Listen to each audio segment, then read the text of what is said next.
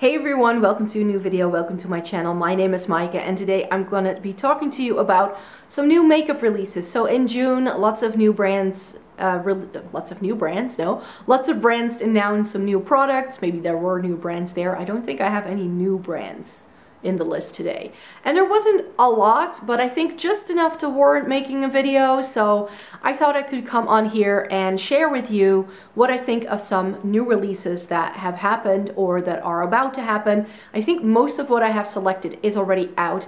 And let me just preface this video by saying that I'm actually not interested in, interested in getting any of it. let me just be very short and sweet. So this video is mainly going to focus on why I w won't get any of it and uh, let's just talk about that for a minute. And if you would like to join the conversation that I'm very curious what you think of these products and whether you plan on picking anything up. So Kiko came out with their summer collection. They do a summer collection every single year. And this is this is one of those things where I'm always intrigued. Kiko does some really really nice products. It seems to have bronzer, blush, and highlighter, as well as some other things. And especially those complexion products really intrigue me. It's just that I've owned Kiko products in the past that were limited edition, and then I never ended up using them because they were never 100% right for what I like. And I would like to elaborate a little bit on that because we have a Kiko store here in my town and I always go in to see what they have and Kiko is one of those brands that really has a couple of just products where they nailed it. Like they are super duper great products. Uh, I have a blush by them called the shade Fusion Blush. I think those were discontinued. They have a really stunning uh, highlighter that is in a similar packaging as the blush. I think it's also called like the shade Fusion highlighter stunning as well. I really like their eyeshadow sticks. But then a lot of the other products, whenever I check them out in store, I'm always a bit like, hmm, not so sure. I will go in there, I will swatch them, I will be umming and ahhing about it, and then in the end, I never pick it up. And the reason why I don't is because, as I mentioned, very often the shades don't really appeal to me in the end. And Kiko is one of those brands that just insist on putting loads and loads of shimmer into their product. And here's what they do. In their stores, they have a lot of this like super bright overhead lighting that makes the products just look and feel much better than when you get them home. And I always feel that that's a little bit of a scam.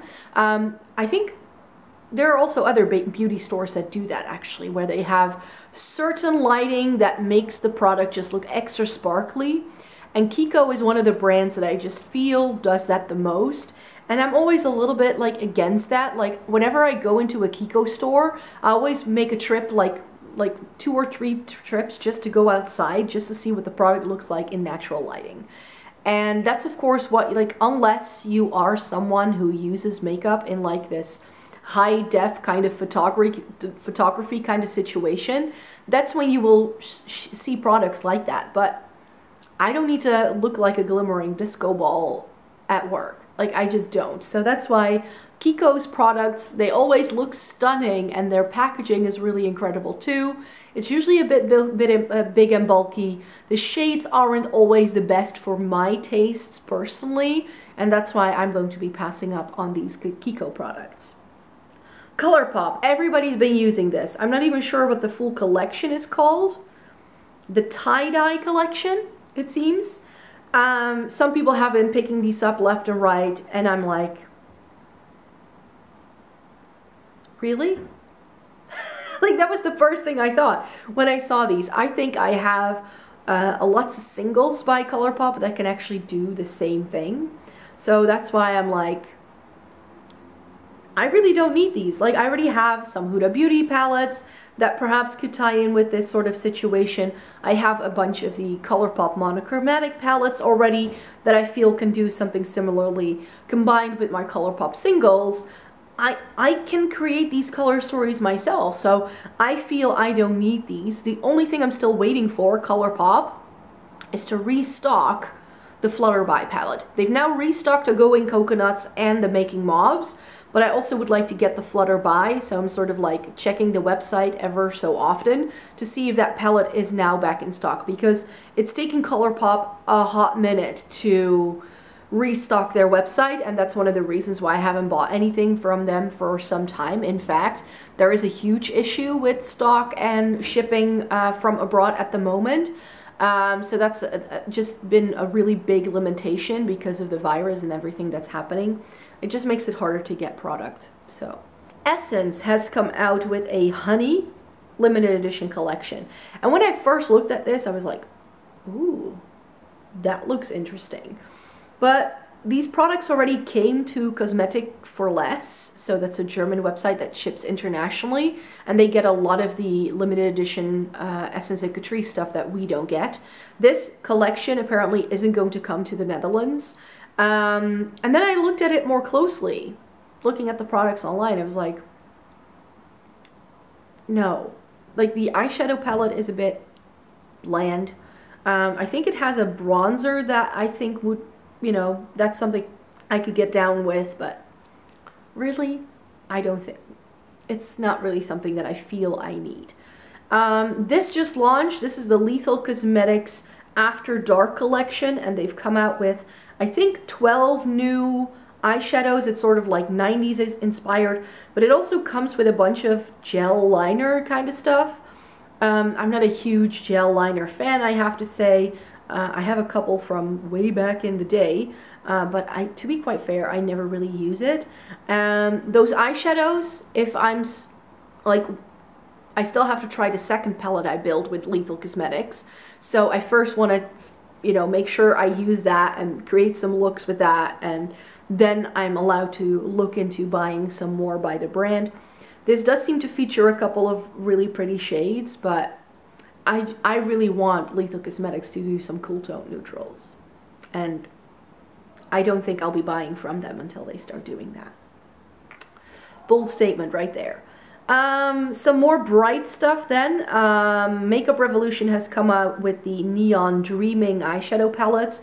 These are clear dupes, or at least a different take on the Huda Beauty Neon Obsessions kind of palettes that she came out with. And these look nice. It's just, we all know how I feel about Makeup Revolution eyeshadow quality by now. It's decent, it's workable, it's okay, but I don't know why. These color stories just don't really speak to me. I don't find them very neon, to be quite honest, either. Um, there seems to be only like one true bright shade in each one of these. The green and the pink one I could still get down with. Like if I were to see those in real life and they look okay, but then does it really add anything to what I already have going on? I don't think so. Um, then a brand that I spotted at Sephora when I was in the US, but I hadn't heard a lot of people talking about it, but now more people seem to. It's Patrick Ta's makeup line, and he's coming out with some new lipsticks as well as a blush duo that comes with a cream and a powder. And to be quite honest, those blush duos kind of speak to me, but you know, this is a brand that's going to be very hard to find because I think it's only like Sephora US only. I don't think we can get this in, in Europe yet. And, you know, the shades of the lipsticks are okay, but nothing to write home about. But it has this like pinky blush shade. I believe it's called She's That Girl. That looks really pretty. But do I really need more blush? I don't think so. Then Natasha Denona dropped the bronze palette or like it was a full collection I think also with a face palette and all that. And it's bronzes and golds. And some reds. Um no. Just no. If there's one palette that could have come out that is ex exactly the opposite of the kind of color story that I like it would be the bronze palette like, like I just don't like bronzes and golds on me all that much. Like it has a couple of like that dark brown and also this like grayish purpley tone in the top left, uh, top right corner. Those look stunning, but the rest of the palette I'm like, I would never use that. And Natasha Denona, she she's not that that cheap, so not something I could just like buy on a whim to try it. Then Morphe and Coca-Cola have come out with a joint collection And this this was one of those things I was like, who, why, why, why are we getting a Coca-Cola collection? Like, I, I really don't get it. Um, and then with Morphe, it has a couple of reds in the palette that your eye is drawn into, but then it also has those like tinfoil kind of aluminum kind of shades that I think are reminiscent of the canned packaging that Coca-Cola comes in. Um, so I like those four shades, but the rest of the palette just doesn't appeal to me. And the other products that are in this collection, I mean, no, no, just not, no. Uh, Nabla has come out with some new stuff as well. Uh, the first thing I would like to talk about is their Miami, Miami Lights Glitter Palette. And I don't get the white, I don't get the red, and I don't get that deep shade. The only one I really like is that like plummy blue shade that it has. That looks stunning. I would buy that as a single, perhaps, at some point. But this entire palette with three shades that I know I will never use, no can do. KVD Beauty, it's no longer Kat Von D, of course, uh, has come out or is about to come out with the Shake Primer. And this is a new eyeshadow primer and it sounds very intriguing because it's apparently clear. Like, wait, wait, wait. A clear, invisible eyeshadow primer to give every single eyeshadow true to pan color payoff. I don't know about you, but I'm intrigued. I'm definitely intrigued. Again, difficult to get because Kat Von D is not for sale where I live, but maybe at some point in time that could be something. If the reviews are good on that, I might definitely pick that up, but not anytime soon. Not anytime soon. Uh, MAC is coming out with some new stuff as well. A new extra dimension skin finish called Underground, which is like a, well, in some lights it looks like a pastel rainbow and in another one it doesn't. It, I don't know. This product just confuses me. I just, I don't know why. Like I've tried some of the unicorn rainbow highlighters in the past and to be quite honest, I found it very difficult to pick up a shade that was wearable and every single time it looked differently that when you applied it. Nah. And then uh, MAC Fix Plus has had a makeover and it now comes in lots of different scents. You know how I feel about scented makeup. Ah, so I will just buy a mini of the regular Fix Plus when uh, my Fix Plus finally runs out. Still hasn't. So um, yeah, no, this is, uh, I think it comes in like strawberry and, no. The colors are fun. I think the, like the colors are fun, but no. Um, and then the other half of that Nabla co uh, collection that I just talked about are, I think, I'm not sure, are, are they bronzers or are they also, yeah, it's bronzers and two new highlighters, I believe. So it's part of their skin glazing line and that skin glazing, glazing highlighter that I have, I think it's in the shade Privilege.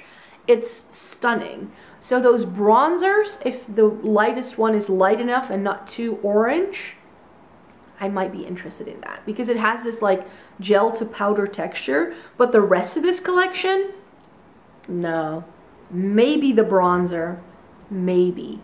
But I have so many bronzers right now that I like that maybe I should first hit pan on some first and then buy a new one because else it gets a bit, a bit excessive. Uh, Blush Tribe is being rebranded this coming month, hopefully, uh, into, I'm hope hoping this uh, I pronounce this correctly, uh, Miali or Myali Beauty. Um, and they are now sneak peeking uh, different palettes up on their Instagram. And the one that spoke to me the most is the Yaya palette. Just, just look at the picture. And if you know a little bit what I like, then you understand. It seems to have like a teal, some cool tones, but it also has a bit of warmth. And I'm not so sure about that bit of warmth. So, so far, none of the palettes that were teased really appeal to me.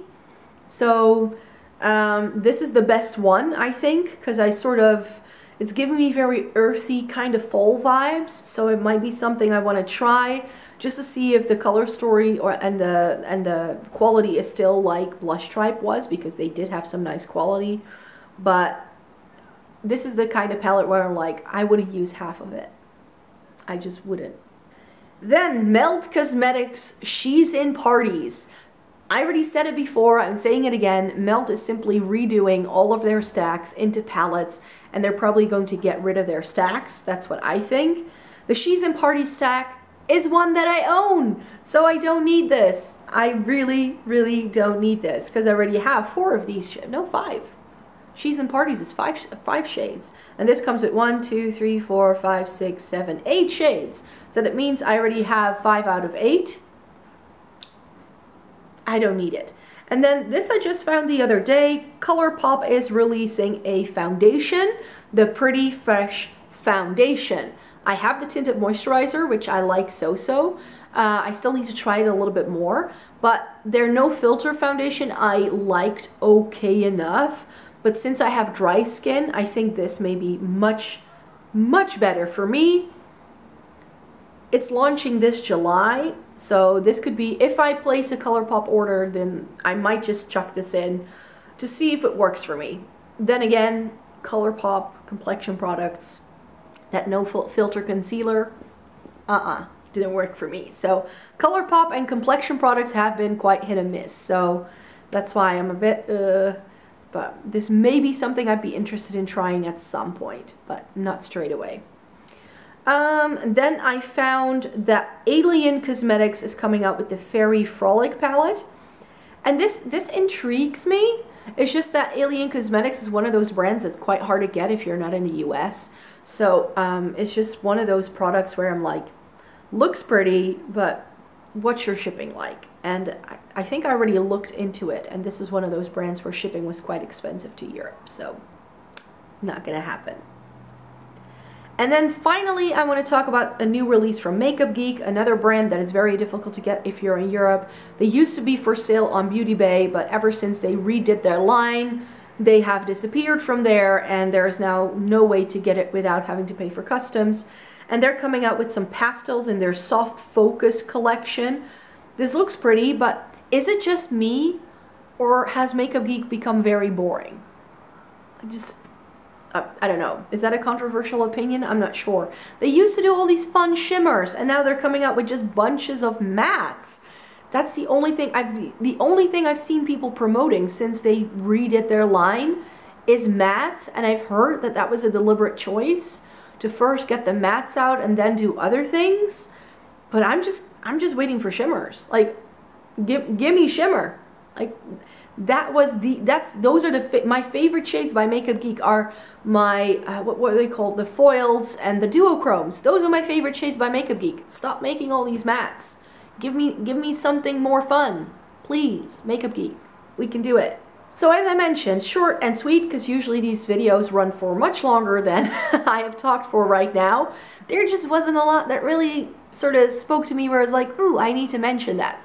There's a lot more that's been announced, but I'm like, I'm scrolling through Instagram, I'm like, nah, nah. And I've actually been feeling like that for a few months now. And I'm like, maybe I'm just becoming a little desensitized with the sheer amount of uh, releases that are out there. Who knows? Um, I do have a nice makeup wish list, so maybe it's also because of that that I'm first focusing on making sure I get some of the products that are on my wish list and then towards the end of the year I'm pretty sure I'll find some more products that I want to put on my wish list and then I might decide that I want to get stuff. But for now it's all just a little lackluster.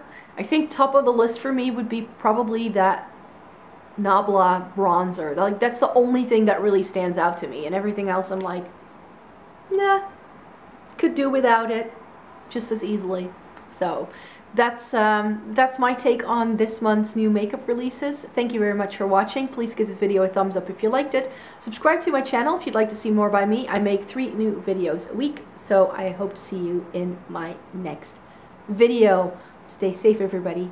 Bye-bye.